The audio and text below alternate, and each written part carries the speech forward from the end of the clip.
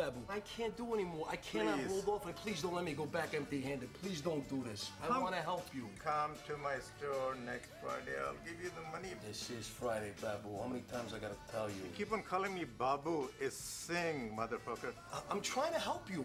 Don't Keep you on telling me? I'm your friend. Yeah. You don't even know my fucking name. You want me to catch a beating? I'm gonna catch a beating if I go back again like last week. See this guy? You see this guy? This guy don't want you to have the money because he wants to come back there and squash your head. And I don't want to see that happen. I have one customer sitting here. What I'm going to do? Business is bad. You opened up a store in an Irish neighborhood. These are dirty, dirty people. Don't you know that? Sell potatoes. I don't know what you're gonna do. Excuse me, gentlemen. Know what I'm saying? Excuse me. Excuse me. Hey, you fellas come from Providence? Is any of your business where we come from, is it now? Fucking delivering cannolis or something?